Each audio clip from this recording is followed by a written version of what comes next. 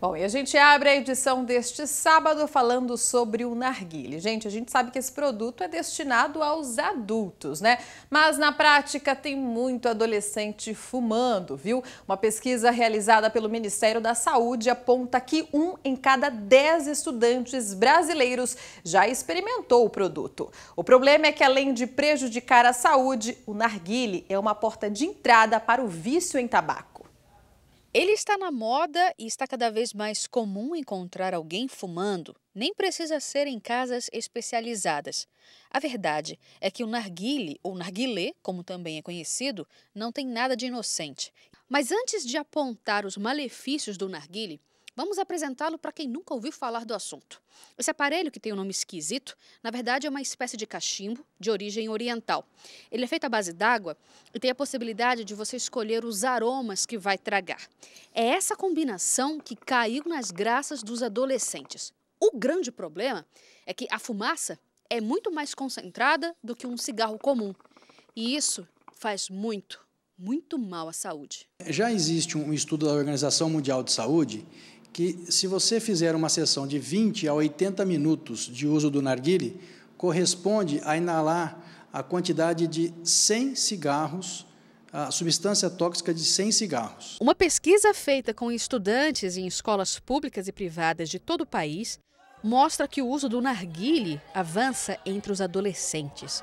9% dos alunos do nono ano do ensino fundamental já fumaram o aparelho. Três anos antes, quando a pesquisa foi feita pela primeira vez, eram 7%.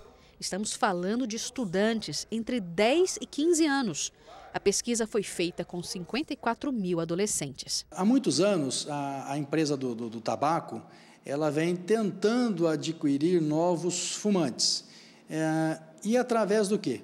Tentando chamar a, pessoa para uma coisa mais bonita, que tenha um, um, um, cheiro mais aromatizado, e isso o narguilé ele consegue fazer. E dá a impressão que você está utilizando uma coisa inofensiva. E, na verdade, por trás disso tem muitas substâncias que podem ser cancerígenas ou trazer outras patologias. Luiz Gustavo tem 21 anos e sabe dos malefícios. Garante que não exagera na dose e que fuma para relaxar mas a mãe dele não gosta nada da ideia. Tá fumando de novo, Gustavo? Já falei pra você que eu não quero que fuma. a minha mãe já não gosta que eu fumo, né? Mas fazer o quê? É um hobby que eu gosto, então eu vou contra as regras dela um pouco. Em todo o país, a chamada Lei Antifumo, regulamentada em 2014, proíbe o ato de fumar, incluindo o narguile, em locais fechados, de uso coletivo e privado. É uma guerra contra o tabagismo.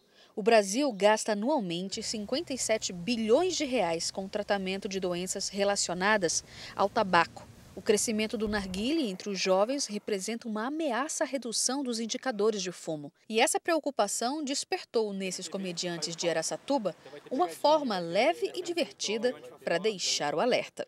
Ô molecada, sabia que essa porcaria é pior que cigarro? e quem é você pra falar alguma coisa? Beleza, então fuma essa porcaria aí. No nosso trabalho a gente sempre costuma fazer paródia de propaganda, de programa de TV.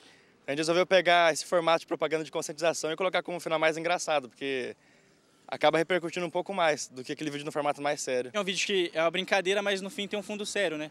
Passa uma mensagem. Não há sucesso nenhum em ser fumante, nem de cigarro, nem de narguilé, nem de charuto, nem de outra substância que usa o tabaco todas elas vão te levar a doenças crônicas e você não vai ganhar nada com isso. E lembrando que isso realmente é uma estratégia do mercado para atrair mais e mais fumantes. Então começa aí com o narguile, depois parte para o cigarro e aí pode vir aí com coisas piores, né? Então vamos ter consciência na hora de usar, hein, pessoal?